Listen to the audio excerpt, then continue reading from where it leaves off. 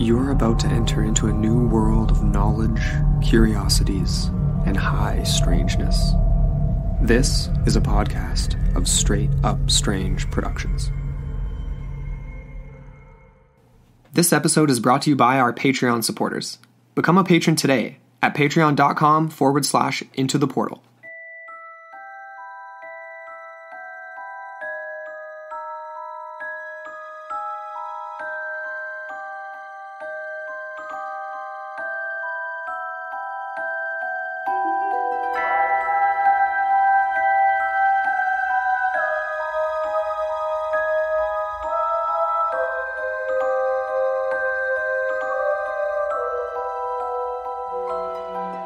Hello, I'm Amber A, And I'm Andrew McKay. and you're listening to Into the Portal, your gateway to the bizarre. Today, we have a brand new Film Friday, don't we, Andrew? Finally back with some uh, with a film Friday. It has been a minute.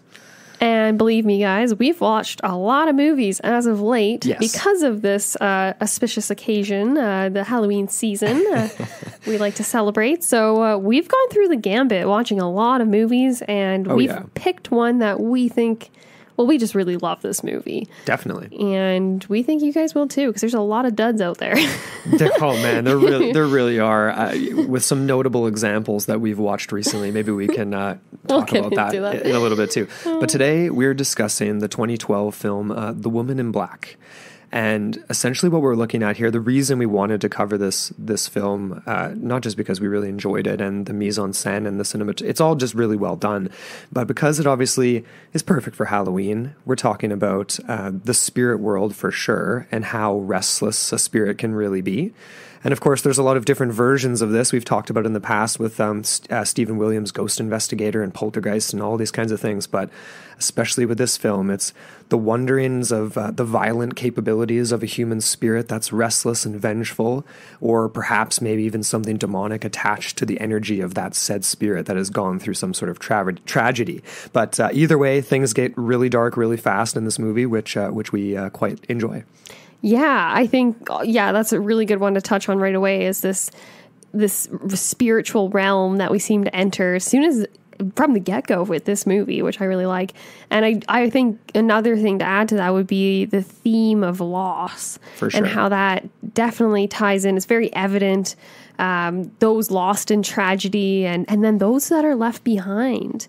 Uh, each character we see in this film has experienced loss in their own way or another. We see it in Kipps, we see it in the dailies with Jerome, and of course with the woman in black. Of course. And it's a very dark theme. There's lots. This is a super dark movie, hey? Like it really treads that line of just because obviously it deals with children, which is always a very sensitive subject. Absolutely, and it's actually funny you even say that because what I was just thinking there too, like it's a dark movie and it is literally dark the entire time. Like the weather is uh, that that drab London uh, London fog and rain, right? And then he leaves the city and he goes into uh, into the, into the burbs, and it's very much the same. The Oh, mud yeah. on the side streets as he's or the, you know he's he's looking out the window of the train, and it's it's all very bleak and drab Oh, super bleak. morbid, if you will. morbid definitely and i think that mirrors the overall tone of, of depression that kind of emanates throughout this entire thing Definitely. so just like getting into generalities before we even kick off with our plot overview or anything like this is this is pretty recent 2012 you Yeah. know it has some uh, fairly modern fairly effective special effects i'd say and uh, i think it was very well directed. I think we're dealing with a very strong director and uh, producer team uh, directed by james watkins. And the screenplay was written by jane goldman. I thought this was interesting. Like we knew that this was an adaptation from a novel. Yeah, for sure. I didn't know that this was actually the second adaptation, though. Ooh, really? Yeah, there was actually another um, movie under the same name, and it was filmed back in the 80s, 89. We're so I'm not sure. back. We're have to check that out. I just pulled that little fact up and I was like, wait a second. Because we love to watch earlier versions. We and do. This one, I don't know. We'll have to see. If Yeah. anyone's watched it, let us know. But Totally. anyways, yeah, that was interesting. And, and uh, it was a, f- a novel by Susan Hill, I should clarify there. Of course. So just to give her some credit, this is a pretty cool little story, and I think the plot was very effective in its simplicity. It could have gone awry at many moments, and uh, we can discuss that in finer detail. Yeah, definitely. But let's touch on some of the main characters here, because we've already touched on uh, the main character, Arthur Kipps, played by Daniel Radcliffe a very well known household name around here, Harry Potter. It's hard not to see Harry in him in this movie. That's the excuse that my younger sister uses whenever we try to get her to, well, whenever we try to get her to watch scary movies.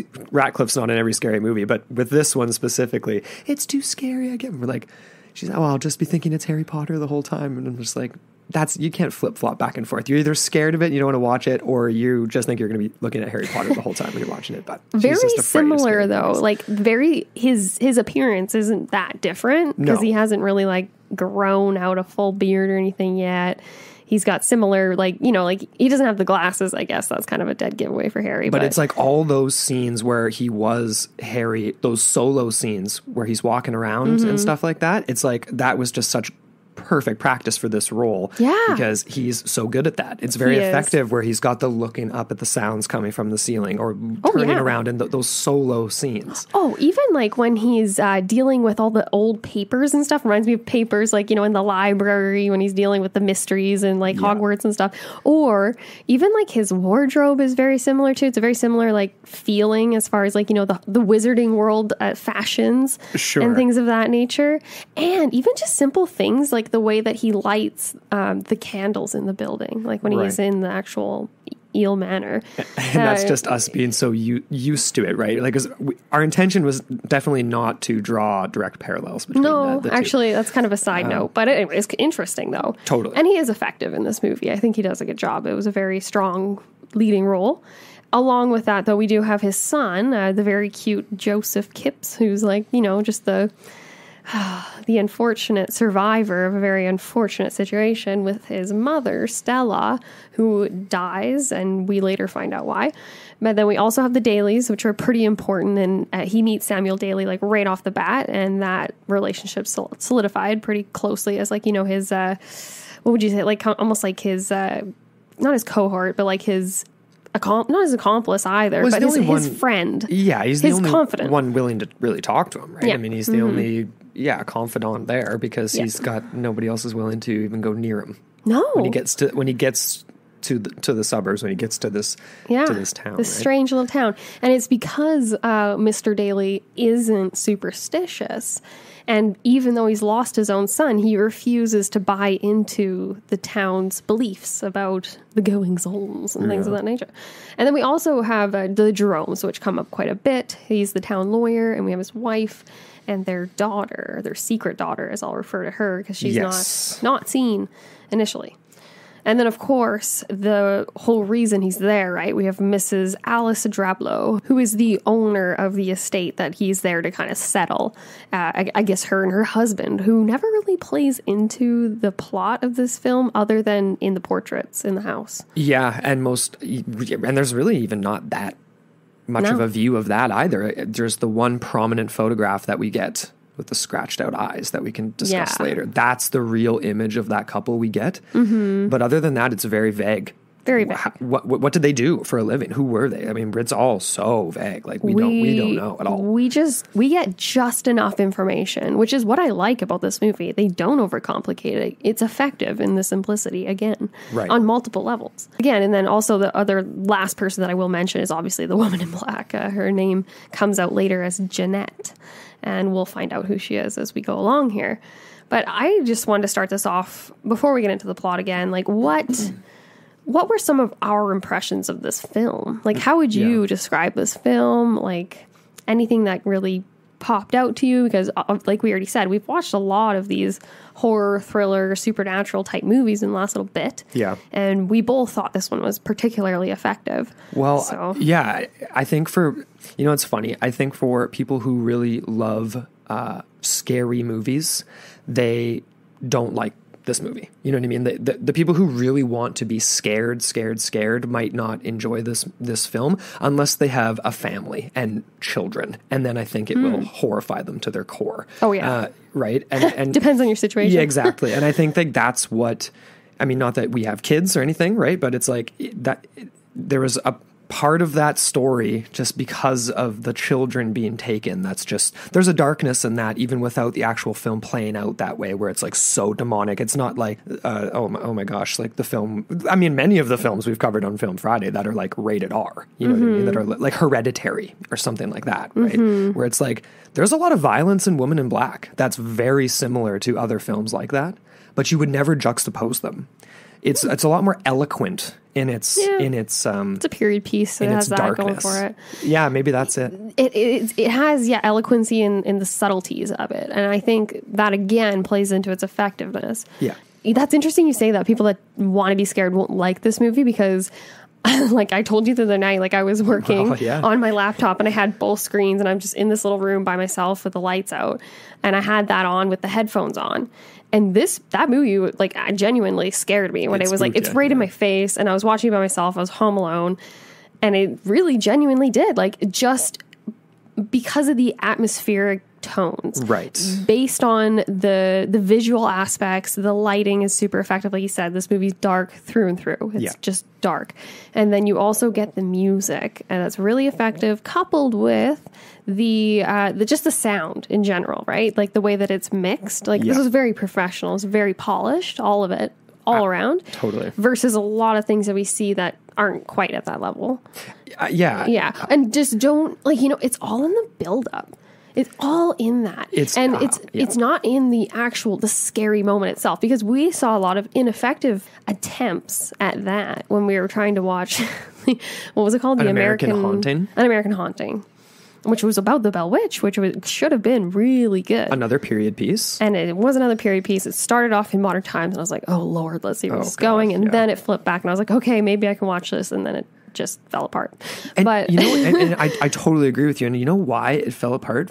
Like, because you, well, there's a bunch of different reasons, but like, here's a big difference between something like where they're trying to show a, a witch or a ghost, like the woman in black, that's like physically violent, whereas like we're watching so much violence in the woman in black that's darkness. But there was never a moment where uh, Mr. Kipps gets like scratched in the face, no. or where something's thrown at him, or where he's No. even physically touched in any way at all. It's There's- all yeah. this atmospheric horror rather Yeah. than trying to show in a much more direct way, which is I feel like I don't even know. Like again, it's a period piece, but kind of a more like modern horror movie thing, poltergeist vibes, where it's going to be Mm-hmm. that's what's that's what's scary is like a ghost can touch you, a ghost can harm you physically. Mm-hmm. You know what I mean? But it's like you don't need you don't need that to Wow. be scary. That's funny you say that because obviously we get very obvious examples in An American Haunting when the girl is strung up by her hair or whatever, and it's just this very ineffective, like getting slapped. slapped over and over again or getting dragged this way, that way. When she, anyways, there's a lot of moments in that movie you're just like, literally, I just have to look away because this is really bad acting. It's really painful. But This is turning into just like crapping all over American Haunting. it is, it is. So let's move away from that. but we have, like we were just saying, like, you know, like we have compared this to a couple of films already. And some of my favorite things about this movie, before we get into the specifics of the plot more so, is the camera work. One of my favorite things is this camera work because it's effective in drawing attention to elements that are worthy of notice. And I think we get that a lot just in the simplicity of capturing the expression of, say, an inanimate object like a toy in the room and the way that the expression on that inanimate object changes based on the light that's revealed or taken away from it. Oh, yeah. You know, things like that. That's obviously lighting is camera work in conjunction, but things like that. You know what else it does? Sorry, What? I have to say this because you just reminded me. I don't mean to cut you off, but like in some, I'm picturing the doll and I'm picturing Yeah. the monkeys and I'm picturing some of these things that you're talking Exact about. And it almost, monkeys it and- almost implied to me the way they did that lighting and camera work that these objects were alive almost, they're or that, watching or him. that, yeah, Yeah. or the the woman is working through the woman in black's working through them. They're conduits Something. through it. Yeah, Yeah. exactly. Totally. So it could be anything in the house. Oh, it's so spooky. Exactly. And we do see those things come to life quite literally at moments in the movie. And then also within that category of like camera work, I thought the way that they played with the windows, especially in this movie, was really interesting with the camera. There are basically like I would say close to 90% of the times we see the woman in black, it's through the window. Right. So there's always that element of like she's seeing through the veil to the other side. Yes. There's that very obvious analogy. And also, uh, well, yeah, va- the veil to the other side, and also, I mean, it's literally a portal. Like windows are a portal. those things, And it's also a protective barrier. There is something in between. right? But even though he can see and it's like transparent, it's still there. And we see that not even just with Mr. Kipps, but we also see it with uh, Mr. Daily, right? When he's in the house at the very final scene, when he walks into that room and then he, has the woman in black screaming at him through the window. Yes. And uh, I honestly feel like they could have made her face a little scarier. We both agree on that, That's I think. we've got some a few bones to pick. We'll get to that at the end. Eh, we, but overall, I thought that was very interesting. Yeah, like there was more than one spirit. Like we see the the sun through the window too, right? When he's staring out through the pouring rain at the the uh, the cross that's in the mud and things like that in the marsh. Yeah, fairly spooky uh, imagery there as well. A cross stuck in the mud Yeah. in a floodplain area. Mm-hmm. Never ideal. No, and it's just like all haphazardly, kind of like you know, like it Right. could just sink right in too, kind of thing. What I loved is that they, you already said this, but they get into things pretty quick. And I've Oh, said this a million times on Film Fridays. I don't like it when when movies take too long. Like I enjoyed the dialogue at the beginning where the lawyer, it it wasn't a too long of a scene where he's sitting in the office and his boss is telling him this isn't a charity, right? Uh, things like that. But even just with the first scene where we get with the, the girls playing, the three the three girls Mm-hmm. playing, and we see the little bluebirds on the cups. And to me, that was symbolic of of flight, right? These these these three cute little birds about to take flight, Mm-hmm. and that's what we see. The, the the woman in black makes them, or we don't know this yet, but presumably they're something's drawing them, and they jump out of the window, and all Yeah. we, we don't see them land. We all we see is them just look to the corner, Yep. And then And we just hear the screams after they jump out of the window, right? Straight to the face of the doll. Again, so like what you were talking about, the camera work, it's like right onto the face of a doll in the chair. And my first thought is like, is was the woman in the corner? Did they literally see her or is she working through the doll? But they willfully throw themselves out the window to their death, right? So this is the beginning the beginning moments, and then we get Kibbs, you know, dead wife mirroring him mirroring him in the mirror, uh, contemplating suicide. Yeah, so we had two instances of loss right away. So going back to that theme that uh, kind of plays out throughout the whole thing, Right. It's the loss, the the screams of the mother in agony over the loss of her three daughters, and then we get the mirroring of Kibbs and his wife, and him almost looking through to the other side and wanting to be on that other side. Yeah. And you see him with the razor pressed up against his neck, and it's very obvious. And and then of course his, he's interrupted by his son. Yes, and and you think like the first time I watched this, you think from that first scene and then going to Kibbs in the mirror that this is going to be a haunted house movie. That he's going to be assigned to go to this house where clearly these girls ha- there's something in the house made them do this, and that's going to be a haunted house movie. But it turns out to be so much more than that, which I mm, which is so mm-hmm. interesting. It is not confined. This is not a situational haunt, haunting, No. which is so much different than a lot of horror movies, right? That we or true to life stories that we read about and things like that. But he gets assigned to this place that's called Yule Marsh House. What a name! Or Eel Marsh House. Yule Eel. House. Eel. Yule Marsh House. they they're- the accents in this movie they kind of pronounce it a bunch of different ways. It's like Yeah. with this, there's a bit of the Scottish and the guy at the at the hotel. You have to really the- look at the papers in the film, like the actual documents that he reads. You have to look at them because it does say E E It sounds Manor. like they're calling him Arthur Kibbs with a Yeah. B the entire movie, but apparently it's Kipps with a P. like Kippa Chips. Chips. Kipper, the Kipper and the Corpse. Yeah. Oh wow. All right. Okay. so he's assigned to uh, look over the Drablow estate, the recently deceased Alice Drablow, uh, who died the month previously. And uh, but it's not explained to him. I mean, he doesn't know. He's just told that he needs to go through a mountain of paperwork. And the first thing that pops into my mind is like they don't even know what paperwork is there. like his law firm's just sending him there. There's like there's a mountain of paperwork, but nobody lives in the house. It's been empty for a long Yeah, for a month. exactly. And, and it's all in shambles and disrepair. It's just very. It's just so. You'd think it would just be like send send the title, send the things you need. Anyway, Mm-hmm. but they have to set him up some way, right? And and of course, the first person he bumps into on his ride, like you mentioned at the top, is Samuel Daily, the the biggest town skeptic. He's the one guy who doesn't think anything strange going on in the town has to do with this house, Yeah. or has to do with the woman in black. Exactly. Uh, but he, he he kind of alludes to the strangeness right away, though. He says, you know, we don't get to see too many new faces here. And I'm thinking to myself, hmm, I mean, is is Kipps asking himself why? I mean, why is that? That's he sort of just goes odd- along with it. I mean, sure, it's an odd place, but it gets even stranger. I mean, he's rejected at the the inn. As soon as he gets there, it's like we're full. right. Okay, are you really? It's a hot. It's a hot spot. Hey, everyone's here for Mm. the tourism. Hmm, that's odd. And then, of course, they give him the only space is a space in the attic, which is a little boy's room. Uh, Yeah. There's toys in there. The bed is super short. I mean, I would have rather just sat outside for the night, probably, if I was Mm-hmm. him personally. That's not the same attic space we see in the very first scene, is it? No, this is the attic. This is the attic at the hotel. Okay. So this is another child that's been lost, Okay, right. It's their child. Right. The Uh, right. innkeepers. Okay. and they're just trying to do their part as townspeople to because they uh, they don't want any other children to be taken. I guess. But again, we don't know this right away. It's just No. this super standoffish barkeep. Well, his wife's a little more warm. uh, His wife's a little more yeah. warm, and of course, we're wondering why doesn't uh, why don't these people leave the town, including the town lawyer, who presumably would have the skills to work elsewhere. Uh, Yeah. But he tries to send them off right away, and he's he like they they're not very good at it. They're not good at lying and saying everything's No. fine here. Here's the paperwork. You can go. They're Yeah. kind of like, oh, jeez, oh, uh, but, oh, t- uh, take the you- you Okay, had here, here, here, just toss it on and run away. Ah. yeah. That's kind of the vibe. Yeah. So it's not really very effective at getting him to leave. Yeah.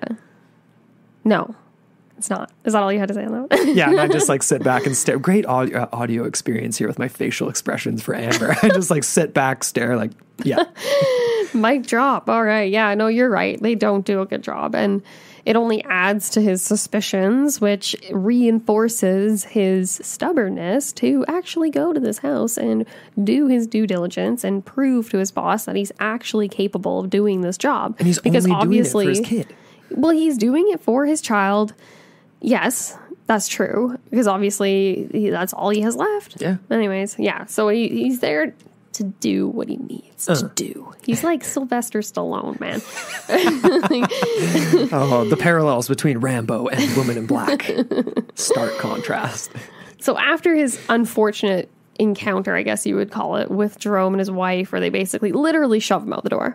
And then it's almost like he, he can see him on the other side just waiting there. He's like, what's he going to do? Is he going to come back? And he just sees a shadow and he's like, well, okay. Yeah. And so he gets the only man that will do it to take him back to the house as opposed to back to the station. Old school, right? He's got his horse and buggy. He even tells him, he's like, he's at first, Mr. Kibbs is outraged at the price. And he's like, well, I'm the only one that'll do it. So, mm-hmm. anyways, it's a very classic. He kind of reminds me of, oh, I don't know what this guy's called, like the grave digger. Yeah, Or like I- the, the graveyard master or And something. I wrote this in here too, like, like because it's the horse-drawn buggy. It's almost like he's, it's like taking you to the gates of hell or something, Yeah, right? Like he's the transport vessel. Yeah. Yeah, exactly. And when you get a look at where they're going and the route, it's like, okay, that's beautiful cinematography. First of all, I've still pretty effective special effects, like you know with the marsh and then the like the way the roads like gets washed out and and and reveals itself at certain points, Yeah. uh, depending on the tide, and. I, yeah, this is pretty much one of the most isolated places you could probably dream up in your imagination. Like, I'm thinking of like the, the special effects artists and like the, the fun they must have had just like creating this place. Oh, yeah. Yeah. So they, I would call the journey harried a little bit. This Eel Manor is like, it's just so mysterious. It has this really weird, it, it's like its own island. And again, it's almost like he is literally going into that in between space where he's not quite in the world of the living and he's not quite in the world of the dead. He's kind of in that ambiguous spot in between. And as they kind of approach the manor, uh, he obviously is disembarks and is left there and is told essentially, he didn't know this at first, but he's told that the tide goes out. So there's only certain times people can come get him and whatever else. So he's like, oh, okay, interesting to know. you're not really given much on this. No, he was- You know, he reminds me a lot of uh, the main character in Dracula. The, Yeah. he- he's a solicitor. Yep. It's Very very, very similar. similar. Goes to this haunt, not haunted, but you know, this uh, mysterious mansion in, in a distant land. Well, not so distant for him. He's still in England, obviously. You but know, yeah. you know, it's almost as if yeah, they're just entering this different plane, this ethereal plane. But as he like kind of approaches, I love how the camera uh, it actually you see almost like from the woman in black's perspective, where it's in the uppermost window, and it's kind of the little bit of the shaky cam as if someone's gazing down on him as he approaches. Yeah. which again plays into one of my favorite elements with the camera work and all that kind of stuff. Absolutely. That perspective is so creepy, right? It is. It's so oh, it's great, but it's really effective. It sets the tone right away. So it's almost as if the whole house is watching him as he enters, and it's in shambles, total disarray outside and inside, like clearly unkept for quite some time. And this feeling is just like this this disarray is just like this mirror to him, I feel like in some way.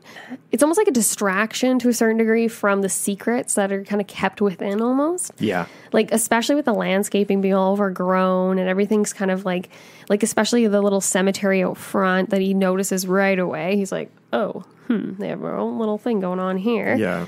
and then he kind of spooky. goes further within but i just thought that was really interesting what do you make of that Well, I, I, I, I you walk. he walks up to this mansion, and immediately it's like it looks like it has been abandoned for a lot longer than thirty days. Mm-hmm. You know, and and, Yeah. and we don't know the exact timeline. Like it said, rough, like it was like a month. She died a month prior, but maybe th- that was the case when he was in the office, and then they had to arrange it. And then by the time we see the scene on the train, it's a little later. But it's like the gates ripped off. yeah You know what I mean? Like it looks like it's been abandoned for years. And so it makes you wonder, it's like, was this was the chick that passed away that he's going the reason he's going there, she was living in the house. or maybe because it's such a big house there's only a certain certain compartments that are actually maintained and like kept up Ah. I mean, because and we she's just all don't alone and we're just not shown those, I guess. But it's like what I thought of seeing that the state of the the mansion is like she's living in it like that. Like Mm-hmm. for dec- for however long it's been since her sister that we don't know of yet because Kipps hasn't discovered uh, the ghost no yet. he hasn't yeah has been deceased but has just been haunting her sister that's still alive in that house living in sh- like i'm just picturing the madness she's living in there just like m- just being haunted That's exactly what I'm. Yeah, that's kind of what I was trying to say. Yeah, I totally. Where it just like it mirrors this the psychological nature of what's going on, kind of thing. And you know, it's funny you say that. Like she's been living like that for decades. Like I wouldn't be surprised. Kind of reminds me of that movie uh, Grey Gardens that focused on like it was an actual true story about the I don't know like recluses that were related to Jackie Kennedy, and it was a mother and daughter, and they basically lived in this house that was just like it should have it was condemned i think after they died but it was like Crazy. they anyway so they just lived that way so in, in this in that sense maybe it is believable to a certain degree Hmm. and this is back in the day we're talking back in the day we're talking like pre-world war one yes i'm thinking Yes. we have cars but cars are a recent invention we're talking like like downton abbey like Yeah. leading up to the first world war I, is like what i'm Exactly. picturing That's what I pictured too. Okay, so let's get into the actual like. So he's in the house here, and he enters. Of course, we, it's all very dark. He gets into the kitchen area, tries to throw open like you know the drapes, and we see immediately the the three monkeys, which are very symbolic. You know, the hear no evil, see no evil, speak no evil kind of thing, and they're revealed again. It's another one of these inanimate objects that take takes on a lot of significance based on the camera work and the lighting and things like that yes and the mise en scène. And then we get this uh, other like this super creepy thing that I didn't even notice. You had to point it out to me because it's so subtle but so effective when he's in the kitchen and then he gets he's trying to light um, one of the like um, what are those things called? Those like gas lights. we have one outside. yeah like a kerosene lan- yeah, lantern. a lantern kind of thing. And then as he's doing that, he almost feels like he's being watched, and we see it over his shoulder. Again, effective camera work, where it's literally the silhouette of the woman from behind, and then the barely. slow turn. Yeah. She slowly turns and, and you can disappears. just barely see her and she's yeah, because she's not in focus. Yeah, it's all in the darkness. the creepiness. Yeah, it's like I didn't. I thought that was an inanimate object. I didn't even like because I was watching him. But again, right, it's just these subtleties that work really well. And then we get immediately after she disappears and he looks over his shoulder, we get that emission of like those that sludge coming out of the faucet and it's Yeah. almost like it was like the house's reaction to him he's like almost like repulsed by his presence there as if it's I like, like that. this intruder this interloper that shouldn't be there I like that. anyways yeah so i thought i loved that and then of course he's wandering around he's not even doing his job he does a lot of wandering in this movie i'll say what is he actually Well, he's doing hearing in? noises. I, I mean, it'd be hard to just sit, down, plop down, and Yeah. you know. And like I said to you too, I was like, well, how the hell does he even know what's what? I mean, nothing's organized. He just Mm-hmm. walks in there. There's like just piles of like stained, ripped papers all over everything. Yeah. And I looked at you and I said, like, you know what I would do? I would just put grab all of it, put it right in the fireplace, light a match, call it a day. yeah I mean, who's who's to say anything? The, the whole town's going to have your back. That's it for sure. The lawyer already tried to hand you a thing that said all the necessary paperwork's in here. Is your boss really going to say anything? Just, just, Just get out of burn there. it down. Call it a day. No, instead he pulls a hairy move and goes under the cupboard to start investigating. Literally, he goes That back to the cupboard. sure, yeah. There's a lot of Harry Potter references in this movie. Anyways, Goes back to the cupboard. He does Oh, yeah? Well, oh, literally okay. the cupboard under the stairs. That, anyways, You never mentioned this to me before we started recording. I'm This is- just realizing it as we're going through. Okay. So it's, it's all fresh. It's all coming to me right now. And so instead of finding Hedwig, he actually finds okay, okay, okay. He does find a baby bird though. He, a little baby raven, remember? So he hears this weird sound, so he goes upstairs to investigate. I don't know if it's a baby raven. It is. It's a baby raven. It Is falls it? out of the nest. It's like this poor little fledgling thing that, has no feathers on it, essentially. Oh, it's fallen out right. of the nest. Yes, yes, yes, yes, yes. And so him being very loving and caring and gentle, he goes to put it back. Like this is him. He's the restorer. That's a very huge symbolic moment, I think. yeah. And so he goes and he ends up doing that and only to be scared away by the mother, right? So, hmm, what is this paralleling? What is he getting himself into? He's trying to repair the relationship and the, the connection, right? Between the lost baby and the mother, We're putting it back in the nest, all this stuff. You know what I mean? I'm like totally like forgetting that scene too, because then there's like the raven in the bedroom. Is that It's the same scene. same same scene? Yeah, Okay, right. yeah. Because then I'm remembering the raven, and, and I'm thinking to myself like that raven's got to be the woman in black. Because then he looks out the window. You're and totally there right. she is, right? If it's sim- symbolically, at least, like maybe not literally. Well, but no, but that's what that's my question. Like, is it? Which one is it? Because like because this spirit is way different than because okay, it, it's not a poltergeist because she's not throwing stuff around. It's not a noisy ghost, right? It's a it's a it's a she's a restless spirit, but it's not trapped to the house. She can go anywhere in the village, Mm-hmm. and she doesn't physically attack anyone. But if if he's seen like if that if she is the raven, it's like that's a physical manifestation. You know what I mean? Like that's almost like a almost like a familiar or something, or like yeah. or That's something, treading on more demonic territory too, like being able to transform. It's just, into I, I take it as a symbol of what is to come. It's a foreshadowing moment Sure. because he is doing this, right? He's the act of restoring the baby to the nest is what he does in the final scene in the climax of the film, right? Right. That that was my sort of interpretation of that. But yeah, you can definitely go a lot further and like what if that was her? Because that's exactly what happens. He sees the raven, then he sees the woman. Right. Mm-hmm. So it's like but pretty instantaneous. He goes to open the window, right? Again, we get more symbolism with the window. He's he's going through the veil. He's opening himself up to it. So there's no barrier. And then like he's doing that to get the raven out obviously, but if you want to take it symbolically, that's how I interpret it at least. And then obviously then he sees the woman. It's like we say symbolically, but if you're physically in that space doing those physical things when these types of things are happening, it's like we were to ask Stephen Williams, ghost investigator. I think those aren't those aren't symbolic actions. Like they are in and of themselves individually, literal, but then in a chain they cr- they allow thinking- something in. That's I'm just thinking like plot device symbolism. of you know course, what I mean? Mm-hmm. Yeah. So there's a lot going on here, and you're right. You like there's so many layers to it, and there's a lot to talk about. But obviously, as this plot develops further, we do begin to piece together the puzzle of what's going on in this very small village and the Eel Marsh home. Beginning with the very unfortunate incident that he starts to kind of he actually hears it, right? When he's there, he Yeah. hears the whole accident happening, but he can't see it.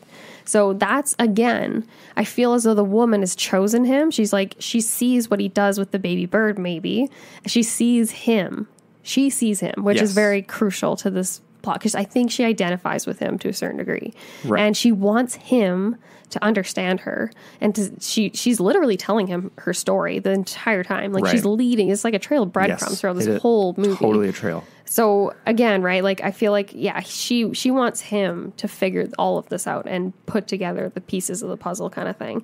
And she's not going to play nice like at all. Like she's ruthless. Like as soon as cuz like right, we get that vision, right? We he sees it. As soon as he comes back to town, we get the first tragedy. Yeah.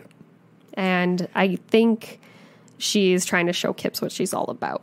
You he's I mean? He's so resistant to it though even at that point right? Even though he's been in the house he's seen some stuff. He's literally seen her multiple times at this point. And then yeah he comes he comes running into town claiming to a cons- constable that he's heard this crash. And the constable's like there's no one's been out there except for you buddy for Mm-hmm. decades that's a pretty creepy thing to hear from the police chief or whatever who you know the guy that's running the town there in that regard. And right away, little girl comes in with their brothers and she's drank some lye. Mm-hmm. yeah. Good times, right? Oh. Just wanted to see what that tasted like. Maybe Yeah. just mix in that with your apple juice.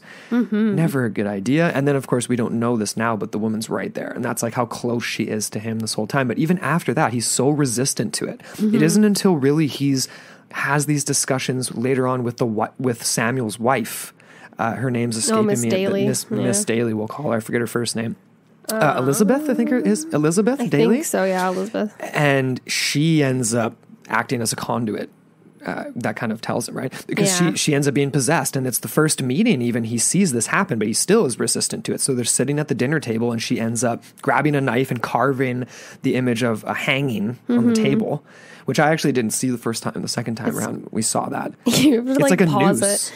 you have to like pause the film and, and The second time she does that on a tree next to the mortuary, I don't actually know what I I- like. We went back and paused it, and I was like, I don't really know what that is. she it's like a hangman's game. Like it's almost like spelling the letters out. Actually, if anyone has their own take on that, we'd love to hear it because I that was one little bit that I forgot to look up. Right. Ah. Anyway, it's after this dinner scene that we realize that, you know, Sam's against, really against the paranormal, right? He's like, oh, you know, because he finds out that Kipps' wife died. Right. So he's saying all those things, right? He's like, oh, you know, you got to be careful of these charlatans. And then, actually, this is probably one of my favorite lines in the movie when Kipps says, and this is such a classic, again, almost like a Harry line, where he's like, I think the worst thing they do is disappoint.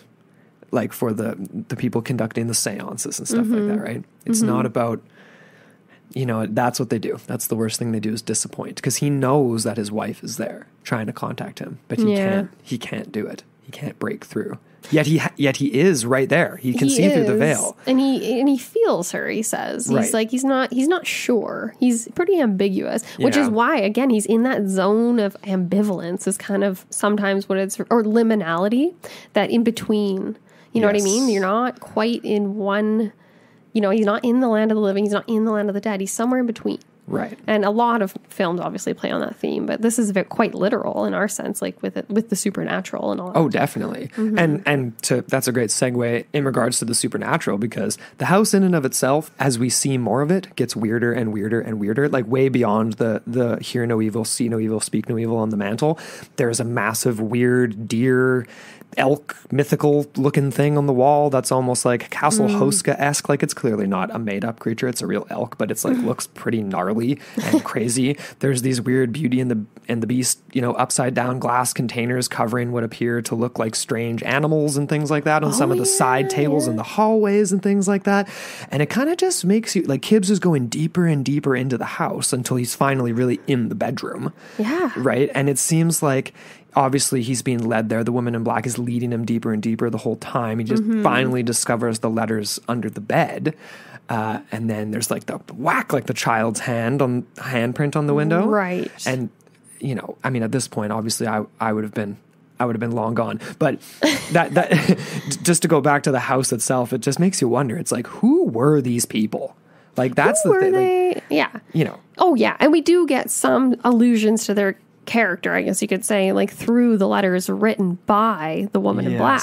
And, and even just to add to that, right? Like he's uncovering, he's going into the belly of the beast, like, and the house itself has a lot to reveal. Right. Even like we get the one instance with the wallpaper where he's he's led led all the way up with the footsteps, uh, all the way up there, and to what seems to be a rip with Yes. something, and then it's literally written in blood. I think Yeah, that you that's what it could have like. saved him. in her own blood is what she Yeah. wrote that in and i sort of saw this like him going he's going he's ballsy right like he keeps going deeper and deeper until he finds more and at first i'm like is this a symbolic sort of just him like descending into madness because of tragedy he's been through like sam would have said that right because he's a skeptic he doesn't believe in any of this stuff but really it's more like when you get to the end of the movie, is he really getting closer to what he really needs? Like, is he getting closer maybe to death? Like, he's getting mm-hmm. closer to the woman in black. He is. It's not just about her showing him her story. She's trying to, in a really weird way,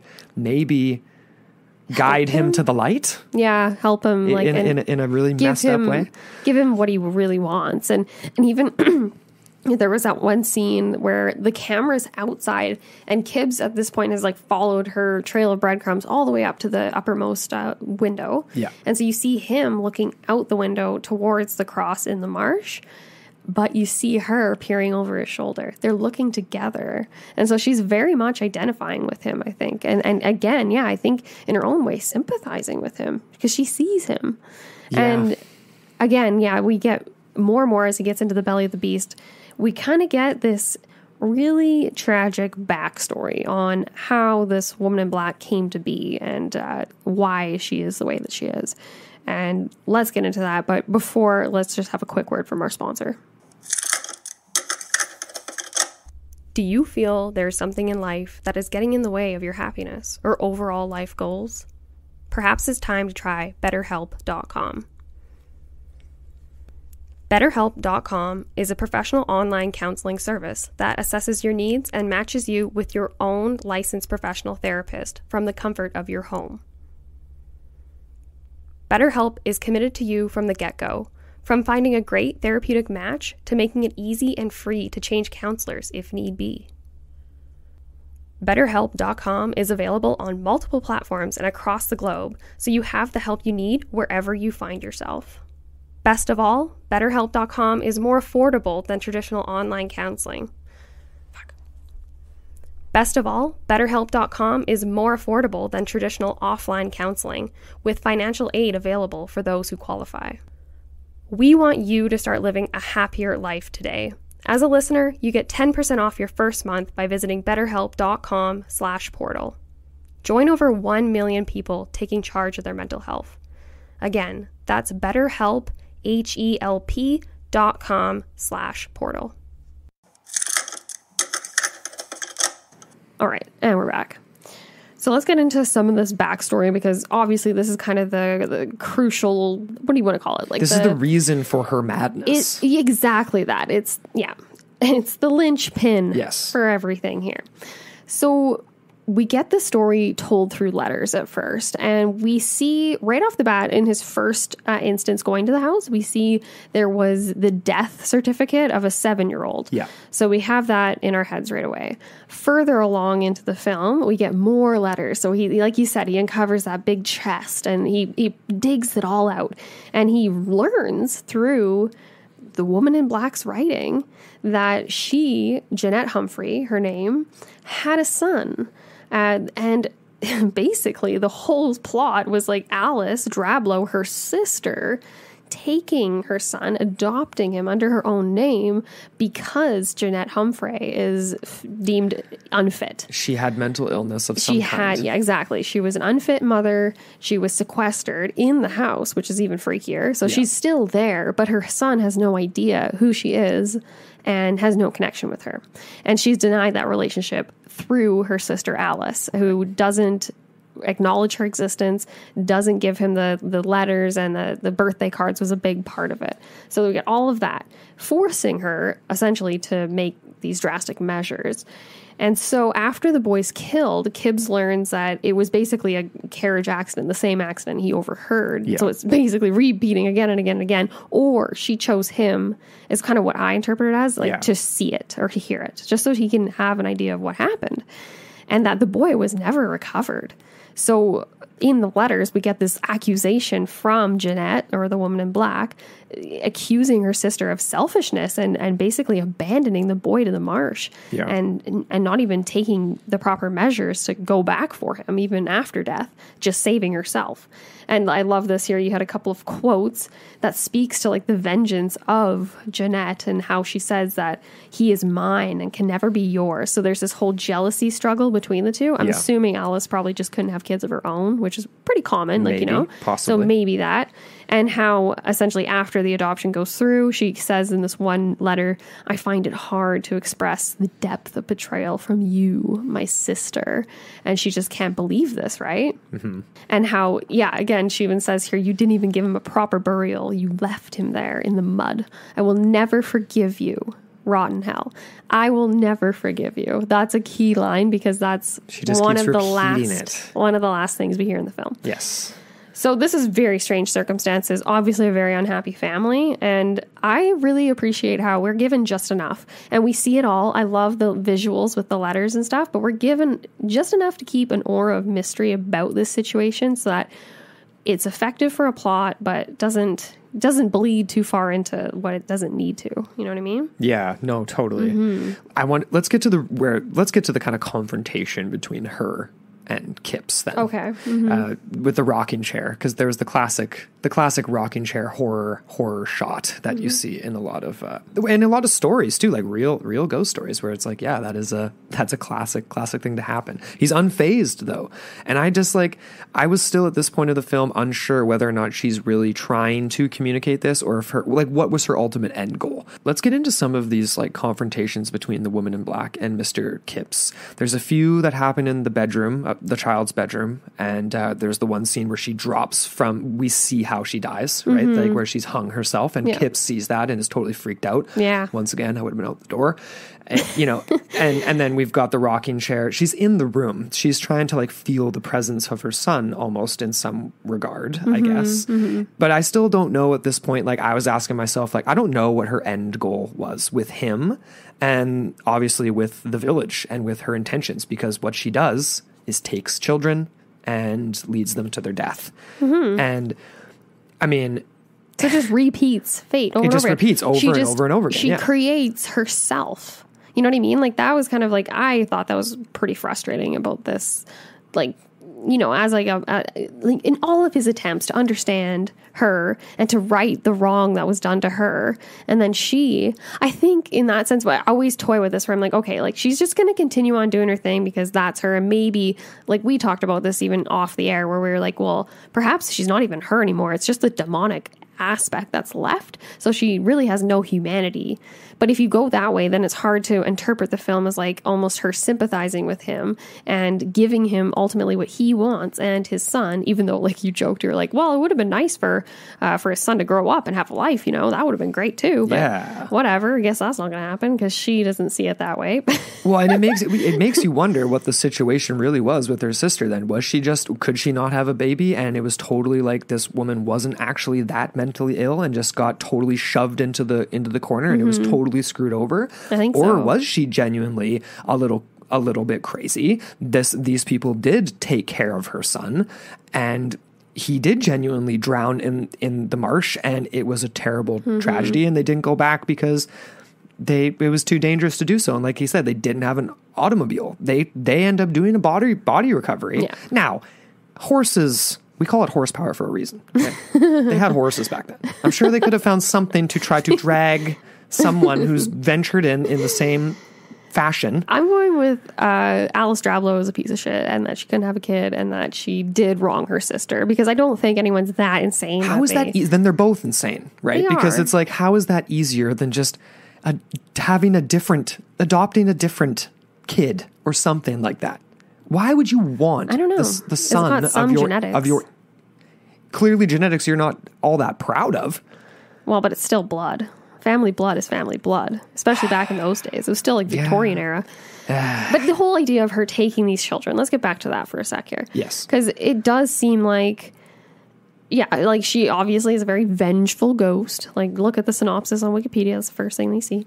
right But, like, you know Yeah. what I mean? Like, it's is this just her? Yeah, exactly. She can't see past that because she sees her sister and all of these village folk. None of them deserve to have their her chil- like their children because she doesn't have hers, even though she's restored and the body of her son is taken from the marsh and placed with her, just like he does with the baby bird that I was alluding to at the beginning of the movie, right? Right. Where he he goes to the effort. He literally almost dies in the process, like almost suffocates in mud like again, right? I feel like he just doesn't care. He has this weird aura about him, right? Where he's Yeah. just like, I'm just going to do what needs to be done, and If it'll just die, get done, yeah. and then and whatever, like you know.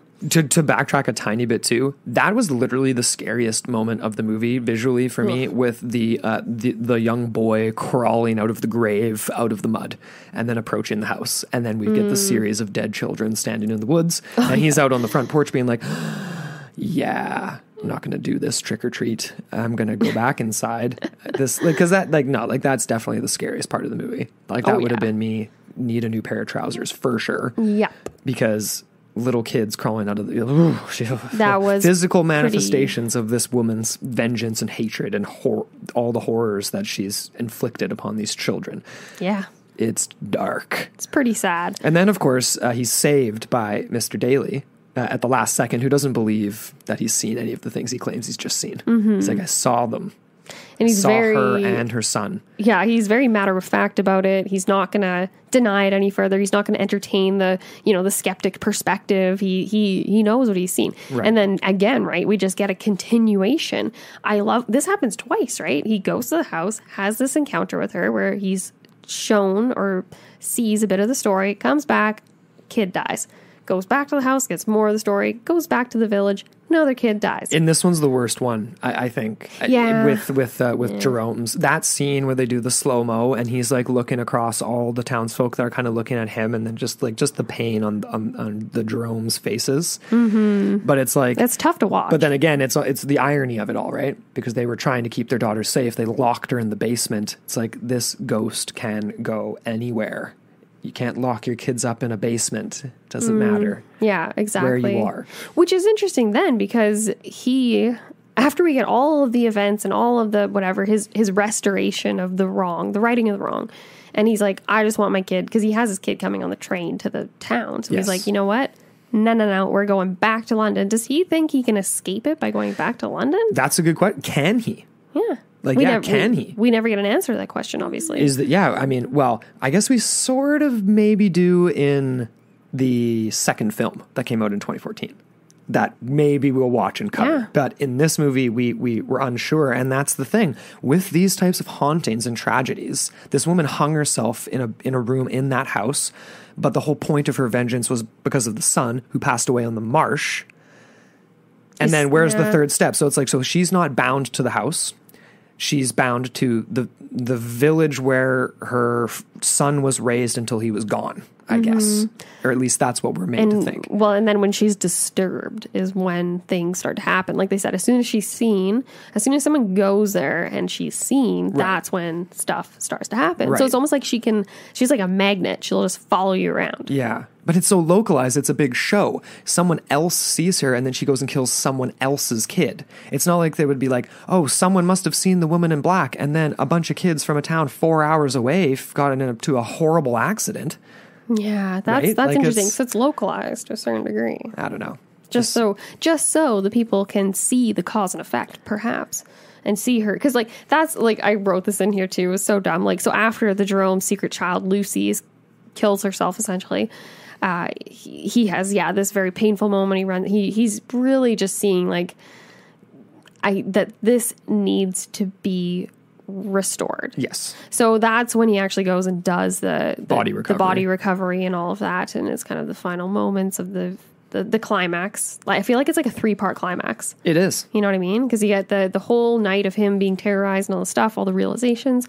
You get the the fire scene, which is almost like a continuation of that action. It's almost just rising, rising, rising. Yeah. And then you get the whole scene with him and Mr. Daily trying to do the body recovery and the restoration and all the stuff. Right. But it's so funny. Like it's like it's so annoying. Like it's just such a double standard. Like I was like, so she wants him to understand her.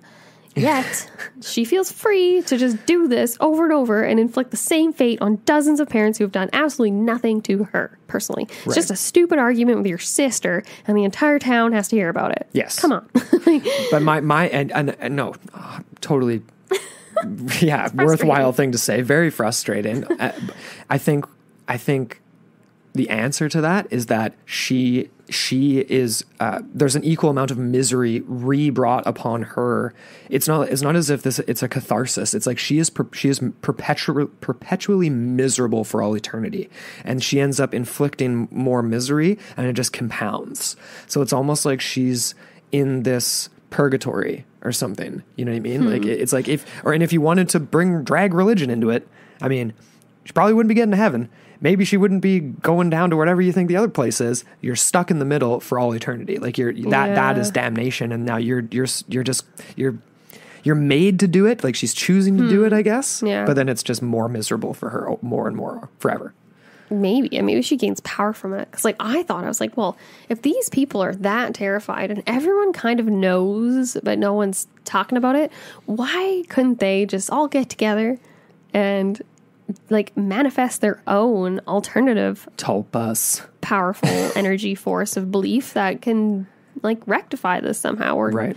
you know that's that's obviously a reach yeah, and, and, and of course Kipps tries to do this. They they have the, the body on the bed. He he puts he places the birthday cards that he was never given around him, and she's not all that happy about it. She comes screaming into the room, the woman in black, right? We get that face and here's here here we get to the stage where we're picking some bones with the film. That's where it could have been scarier. They could have gone a little bit more uh, ghoulish on the uh, on the makeup for that, the actual close up of the face. yes yeah it wasn't that that scary It just looks like a lady in, in pale makeup. Yeah, and she does the same thing few times where Right. she's like, just I'm She's just gonna scream and just like, and even the scream could have been a little bit scarier. Yes, I think that was kind of it wasn't point. shrill enough for me, It was, was a little- pretty freaking shrill, but it was like, dampened though. It was like it wasn't. it wasn't long it wasn't enough. In my mind, they should have drawn it out longer. It needed a deeper beginning, like a like go into a scream. You know what I mean? Like it needed a little more uh, something. A little ghoulish kind of uh, an overtone. Yes. Yeah, no, I definitely agree with you there. And the whole idea that was frustrating too. Where it's like, dude, come on. He just like went to so much effort. He almost died in the mud just to recover your dead, mummified slash bog body son here. Right. Dresses him up, cleans him up, gets him all pretty, puts the cards around. Which your sister wouldn't do. Exactly. Sets the scene with some candles and some toys, gets everything going with the music, like, you know, with the animatronics and toys, things like yeah. that. And then all you want to do is come in and scream in his face. And that, but that's my question though. It's And like, that's it. Is it because they can't be reunited? Like, is it like they even put the bodies together Actually, after that? that's right? interesting. Like, is Maybe it they because can't. right? Like, that's what I'm thinking. Like, why wouldn't she be? Why won't she be re- reunited with him? Is this question I put into the doc here, or is he just literally somewhere else? He's not in that same space of purgatory, afterlife, or whatever dimension that she drags these kids into. Like, he's passed on. And she is Right, stuck in this state, dragging these children into the because because we know, we know that they're there, that there's trapped. She's like this like little Yeah. Bo Peep with all these little kids of the, are the little sheep. Mm-hmm. And when the the son of uh, Elizabeth Daily, when sh when he's speaking through her, and that's really creepy too. You get that kind of like auto tune kind of thing going on. Not auto tune. It's not uh, T Pain, but you know what I, you know what I mean. that. It's got that thing, and it's like she makes us, and then it's like she's coming, she's coming, as if they have to run away. It's like the upside down.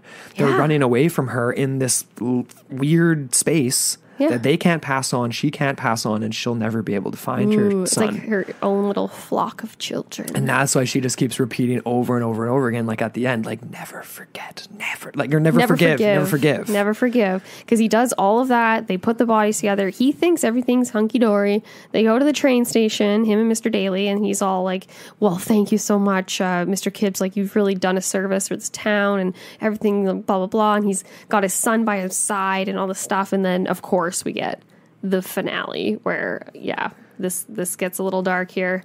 So, final scene, we get the woman in black reappearing after we have that kind of drawn out sequence, not too long, I guess, but there's a sequence of just kind of like panning around in the different empty rooms of the house. Yep. And you just get the whispers never forget, never forget. And she's just getting more and more resolute.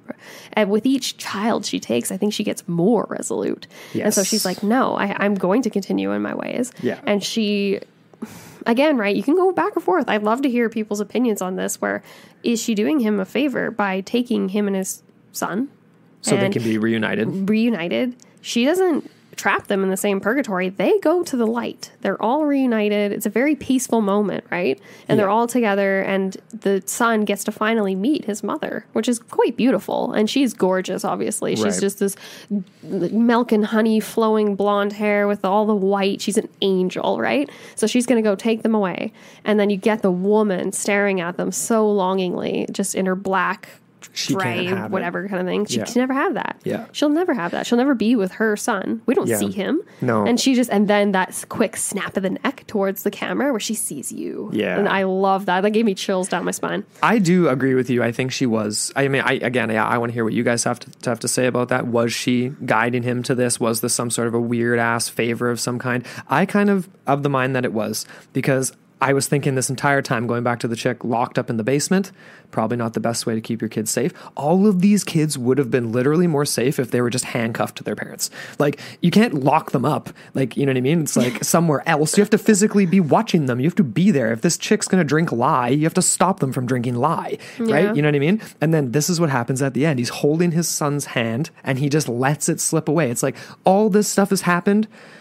Like you're at you're at Disney World and you're not even gonna hold your kid's hand. You're just gonna like Right. just gently like like Mort from Bob's Limp and Clammy, just You're- freaking barely holding onto it at all. Yeah. It's like and then he and then he just walks away and you're not even paying attention. So it says I think she was f- clouding his judgment in that moment as well to allow this to happen. It wasn't just she was drawing the kid away; Mm-hmm. she was messing with the his perception of reality at that. It's not like Mr. moment. Daily's that like all absorbing. and like him too. Too like Daly didn't notice. Yeah. how does nobody notice? Like Nobody. none of them noticed. Mm-hmm. Not even the nanny. Till it's So too late. Well, we're getting down to the end of it here. Do you have any more Down to the nitty gritty. anything else worthy of note? I think we've done a pretty exhaustive. I mean, there's there's a bunch more symbolism and all kinds of things we didn't touch on that we could, but overall, I really really love this movie. It's it does spook me. I don't have Mm-hmm. kids, but it still really spooks me, and I totally believe in entities like this. This is hundred percent the reason why every time Amber brings out the Ouija board and makes jokes, I'm like, no, no. Can we? Oh my Like- gosh, we should touch on that even before Oh we wrap God. up here. Actually, I- yeah, let's I tell that story. Believe in the power of spirits. Like, okay, so we had a power outage. We've had a couple in the last what, like seventy-two hours. We had one happen like two nights ago, and of course it's. Canada, so it's friggin' dark by four. Uh, so, so, anyways, we're sitting in the dark with our candles. We just lit them, and I get this devious idea because I see our Ouija board underneath the couch. And normally we don't really notice it, but I happened to notice it. And I pulled it out, and I just, I love looking at it. So I just pulled it out, and just, I'm so tempted with that little thing, anyways. And we're sitting there and what happened? I guess you just pulled out your phone. So you're like, well, we can't do anything else. We'll listen to a podcast. And so we we're going to pull up Astonishing Legends, and their latest podcast was on what, like demonic stories about Ouija boards. Yeah, I don't know exactly. Yeah, they were Or covering the stories, stories of Ouija, Ouija stories, like creepy Exactly. stories, and we had no idea. I hadn't seen No. any posts up about it or anything. So we were like, "Hmm, that's a little too on serendipitous the nose there." there. Yeah. exactly. And it was so weird because you were you're always very hesitant every time I pull a thing out. You're just like, no, we're not doing this. We're not doing it. We've literally never actually done a seance. we tried at Emerald Lake. We tried. But anyways, we didn't get any Sasquatch spirits. We did. But I actually had like a tingling sensation running through my body. Right. Like I was like I literally felt like almost giddy. Like I was almost like I just wanted to like do it. Like I just wanted to like touch it. And I was like, you know what? We're just gonna I just, I just feel like the power outage crossed with. We didn't know that was their new episode, and you had pulled it out simultaneously as I was like da- pulling it up to download. Was just kind of like, Well, but you told me that after I had that feeling. And I was just like, No, I know, Wait a second. Like, what? Like, okay. but, anyways, if anyone is planning on experimenting with a Ouija board and has a fun story to tell us uh, Yes. this Halloween, we would love to hear it. and of course, shout out to Scott and Forrest at Astonishing Legends, and uh, Yeah. we all have to go listen to those episodes. exactly. Um, so, anyways, I guess anything else before we wrap up here? honestly, I, I'm just really curious. About your guys' thoughts on this movie. Did, did you like it? Were you able to get away from just seeing uh, Harry the entire time, unlike my sister uh, Emily? Uh, you know, I, I yeah, no, I, I definitely just want to hear what you guys think about the afterlife, vengeful spirits. Like, what are they really capable of? Does it make sense that she was venturing out of the house? To afar and capable of doing these things, I guess so. Uh, Yeah. yeah, I don't know. All right. I don't know. Well, I guess thank you to everyone for listening. Yes, We have a really fun little Halloween episode coming your way next week. So stay tuned for that. But in the meantime, we do have a really awesome Halloween contest going on in our network. Yes. So the Share Your Spirit Halloween, I don't even know, celebration, I guess. hell yeah. Uh, we just want to see your spooky stuff, whatever that may be, Halloween style, how you celebrate. Um, haunted baking, sure. I put creepy costumes or pets all dressed up. Hell yeah, we want to see it. I don't know if you carve a sweet pumpkin too. Like, Of course. we're gonna go get some pumpkins. Uh, we're gonna go vote. We have Yes. a provincial We've got election, so we're gonna go provincial vote and go election. get our pumpkins. Get some pumpkins. But we just want to see what you guys want to do for Halloween because obviously there's going to be more in house celebrations this year, I'd Yeah. imagine. So share it with us on our socials. Uh, all you have to do is follow the network Instagram Strange Pods for all of the details on how you can enter Totally. and win a sweet little prize pack. We actually, another fun little Easter egg I'll throw into the end of this episode here.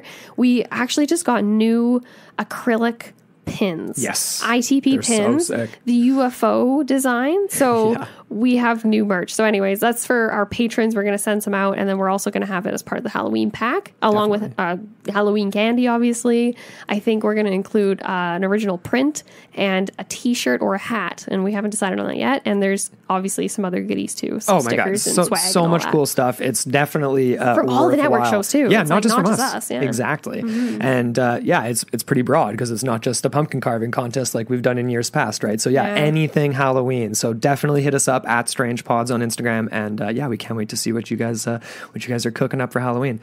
As always. Thank you so much uh, to everyone uh, who's left us a review as of late. Those uh, five star ratings and reviews really, really help us out. So we really appreciate that. You guys know who you are. Uh, and if you haven't had the, the chance yet, please uh, do us a solid. Leave us a five star rating and review wherever you listen to the show. It really helps us out. You guys are the best.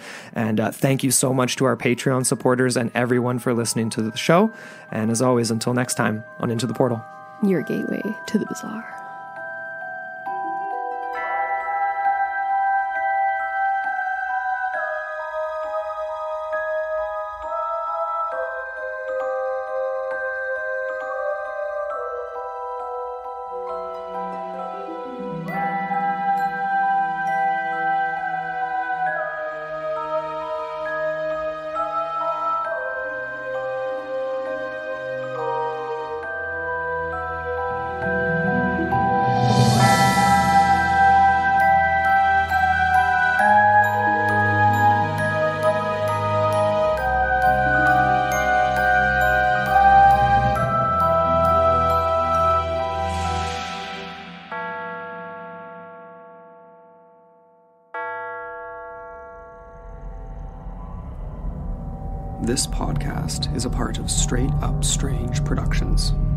Discover more shows like this one at straightupstrange.com.